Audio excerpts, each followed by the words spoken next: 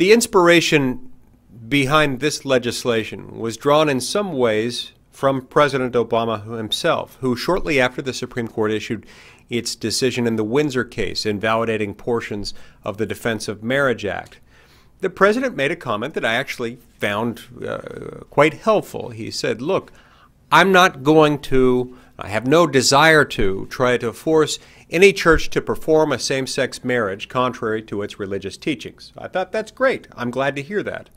That is one of those things that shouldn't have to be said. It's sort of like walking past somebody on the street. You might be a little bit alarmed if somebody comes up to you when you walk past them on the street and says, uh, By the way, I don't intend to kidnap you.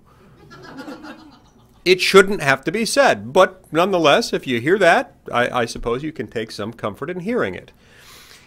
But the thought kept occurring to me that his statement was in some ways incomplete, as some his statement uh, in some ways need to, needed to be backed up by law. If in fact he means that, then we ought to back up his statement by law, guaranteeing that no church will be forced to perform a same sex marriage contrary to its teachings, and no American will have to embrace the religious beliefs that would entail such an ordinance.